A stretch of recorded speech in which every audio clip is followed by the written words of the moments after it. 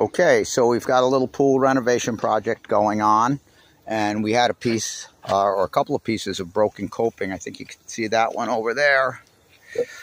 All right, you got that break in it right down there, and you can probably see that this coping has a half round on the top of it. So what I'm going to show you is how to take some square stock, because they had it right at our local supplier, and how to make that round and then flame it. So this is our stock tread. It is flamed on the top and flamed on the front. And we have the template of our curve, the curve that we want to make. And we're going to use this template on the front here. And we're going to grind with a diamond cup, which I will show you right now. So this is my diamond cup. And of course, proper safety gear is important, but we don't have any. So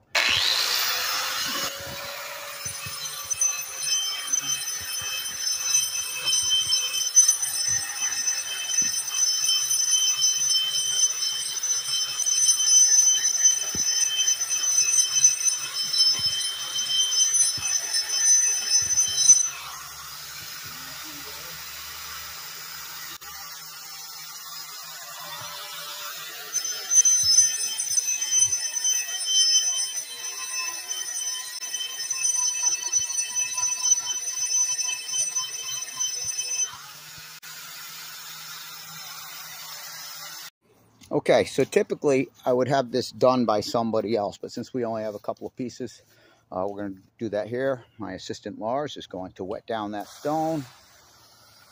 Now in the past, when I've had to do this, um, I've actually taken the stone and put them in a body of water and come back the next day. We're going to try and wet this down. I don't actually know what the water does for it, but it seems to make it a little bit more even when I go to flame this edge to make it match the flame surfaces on the top and on the front. This is the fun part where we torch the surface while you're getting me wet.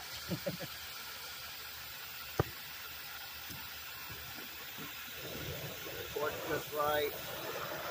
There we go, nice blue flame.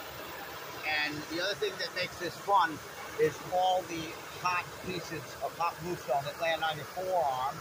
I really recommend doing this with a long I'm to keep my glasses really tight. Okay?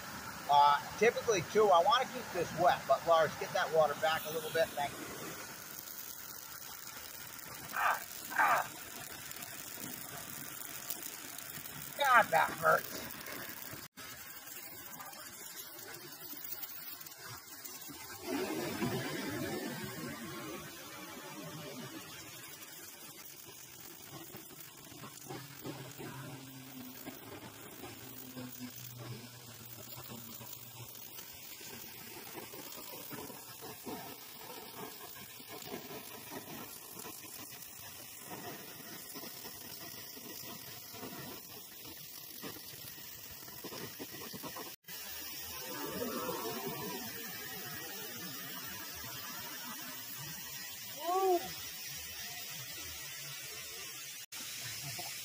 My hair on fire. okay, so there they are. A couple of flamed pieces, rounded and flamed. There are also routers that will actually put that round on, but uh, we don't have one. So they came out good though. Peace.